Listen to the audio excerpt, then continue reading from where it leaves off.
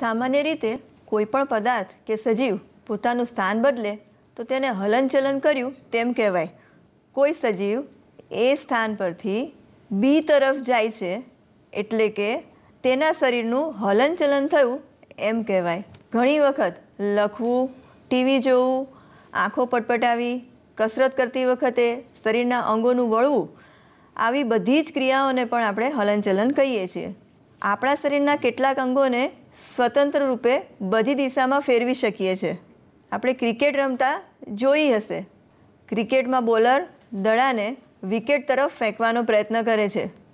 ત્યારે બોલરનો ખભો વર્તુળાકાર ગતિમાં ફરી શકે છે.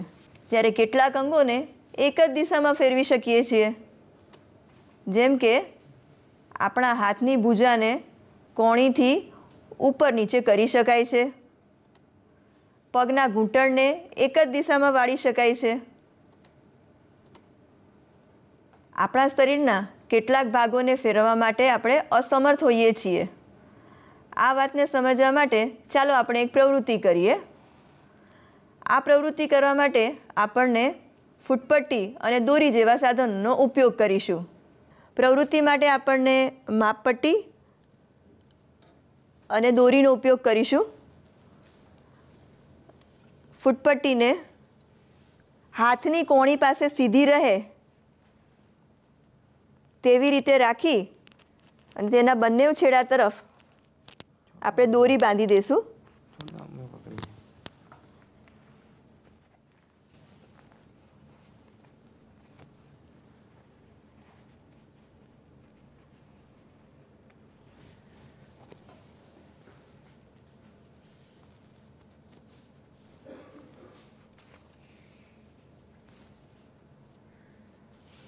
ફૂટપટ્ટી થતા હાથને એક સાથે બાંધવાનો છે. હવે કોણી વાળવાનો પ્રયત્ન કરો. શું આપણે કોણીને વાળી શકીએ છીએ?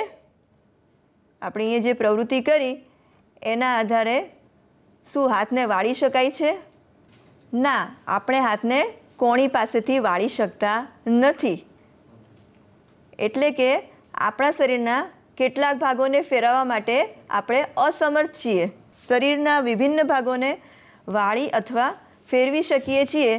જે સ્થાને બે ભાગો એકબીજા સાથે જોડાયેલા છે, આવા સ્થાનને આપણે સાંધા એટલે કે જોઈન્ટ્સ કહીએ છીએ. વાસ્તવમાં બે હાડકાં વચ્ચેનું જોડાણ એટલે સાંધા. આપણા શરીરના પ્રત્યેક ભાગમાં અનેક હાડકાં આવેલા હોય છે.